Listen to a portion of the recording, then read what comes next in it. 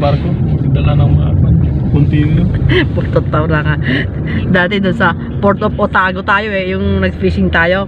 Ito naman, Port of Tauranga. Dati, Port Jumper tayo. Isa ano, Dunedin. Doon din, sa Otago, Port. Saan galing itong mga... Ano yung buhangin? Ano lang? Siguro marami. Madaong. Galing sa Dunedin. Dito sunod ng destinasyon.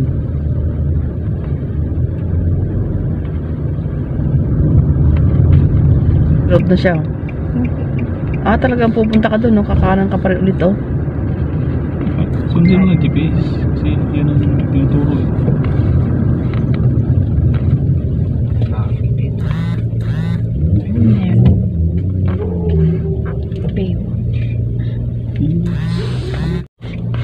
Darating kami doon, no? Pinakatuktok doon, no? Sa taas. Marami rin umakyat. Ah, dami. Lalaki alon dyan. Pero doon daw sa pinagpishingan, wala naman daw masyadong ano. Ah, wala doon. Ah, baka nasa likod. Sa likod, wala siyang alon. Yung sa harap, yun ang mga laking alon kasi Kikita ko yun sa mga vlog eh. Tingnan mo yung, tingnan mo yung vlog mga ano, mga Pilipino dito sa Tauranga. Tindi ng mga huling. Diyan, sa kwan. Hmm. Punta sila dyan. Mga tribali, snapper.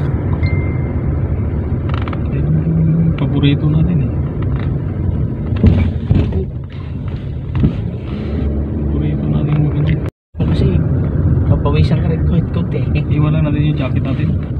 O, ba't iwanan? Dalhin nyo rin yung Dalhin mo, kasi baka may malamig doon. Eh, Hindi ka na maka- lang eh. Lagay yung bewang. Hindi ka na makababa, no? Sa lamig doon.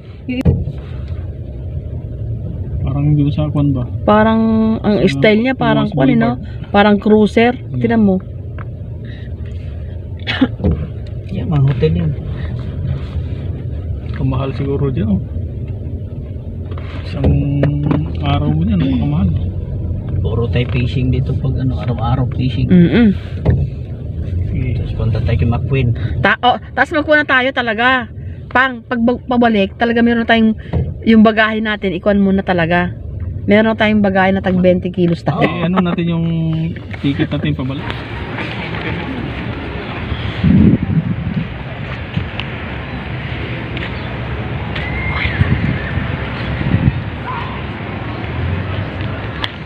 Pa!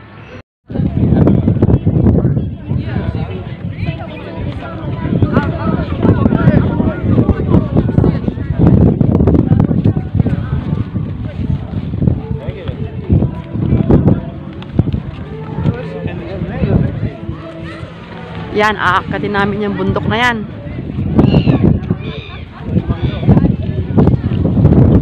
Yan, sundan, sundan, sundan, sundan, mo naglalakad.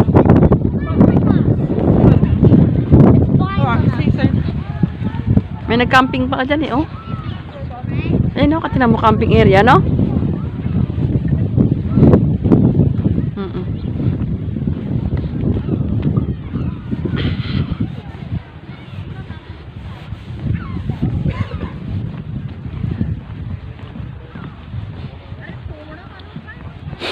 Tinan mo nga anong oras uh, kuan, umakyat.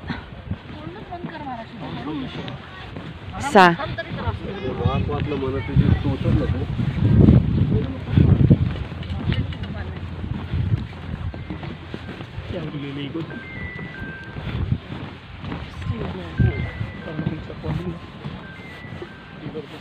Mm. Ang daming camper van dyan, no?